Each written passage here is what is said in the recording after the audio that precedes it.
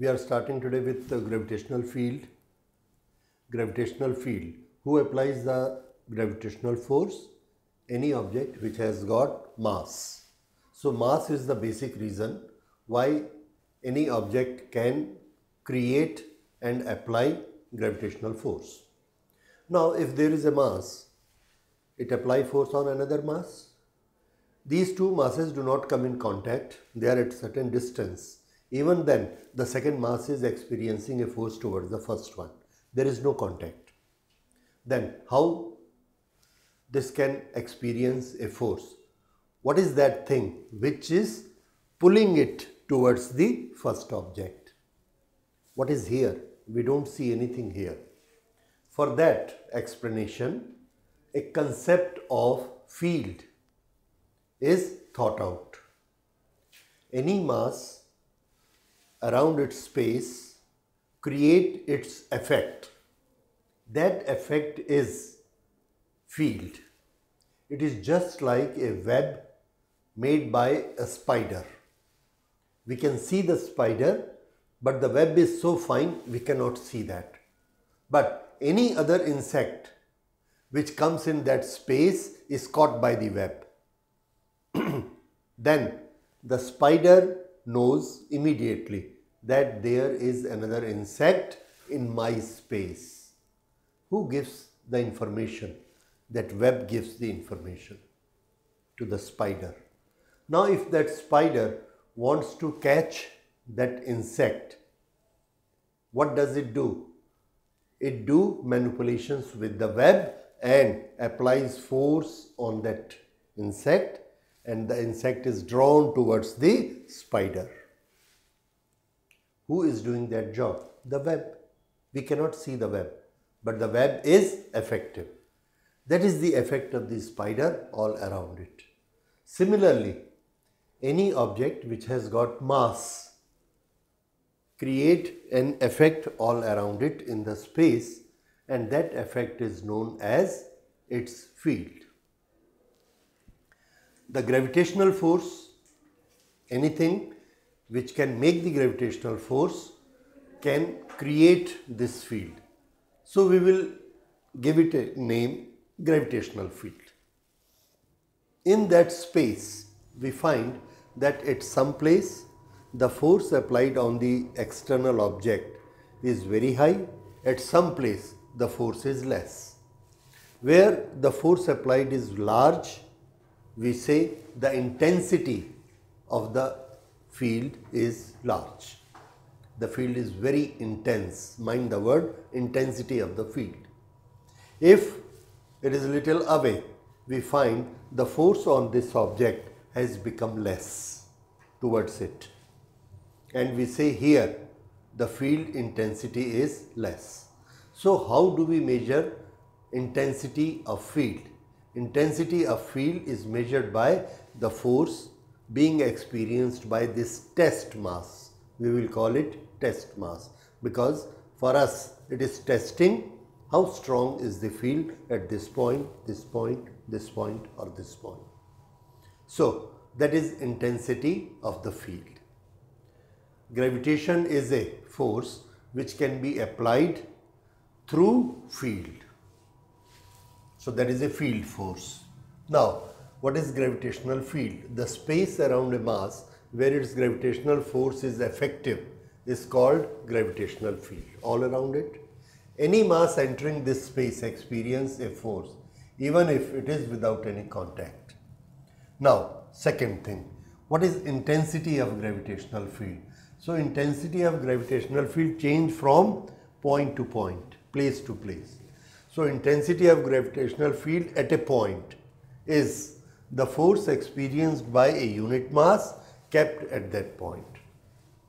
Now, we, uh, we uh, place a test mass which has got certain mass m and we find it is experienced gravitational force equal to F. This is the gravitational force experienced by mass m but what will be the force on 1 kg? This will be F upon m. This is gravitational force and this is mass of the body. This is the force by force experienced by 1 kg is this. But the force experienced by 1 kg is known as field. So this we will call field.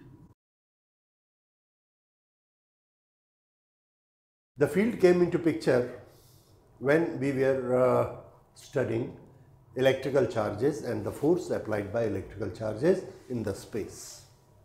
At that time, the symbol for field was discovered to be or uh, slated to be E. That was by the name of electric field. now, later it was thought that wherever there is field, the intensity of field will have a universal symbol and that symbol will be E. So, this we also write as E. E stands for field. This is gravitational field, so we can write it gravitational.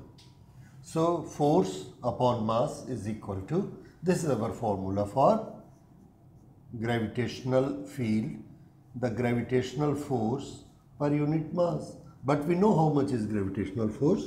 This is G m m divided by r square divided by this m m. Now this m is cancelled. And this is the formula for gravitational field. But we know that this formula belongs to acceleration due to gravity. So gravitational field at a point is numerically equal to acceleration due to gravity at that point. That's correct. Numerically equal to this. Otherwise, what is gravitational field? It is the amount of force experienced by 1 kg mass. Okay, we know that force is equal to mg. If you make it 1 kg, then force is numerically equal to g and this force is by 1 kg, so its name is converted to field, gravitational field and gravitational field is equal to G. This way or that way it can be proved. Now field is a vector quantity because what is like what is gravitational field? It is the force and force is a vector quantity. So electric we can say gravitational field is a vector quantity what should be its direction? We have seen the magnitude.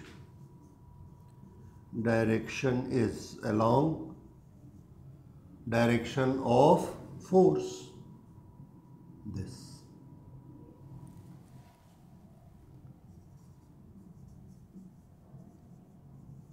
Direction of force, gravitational.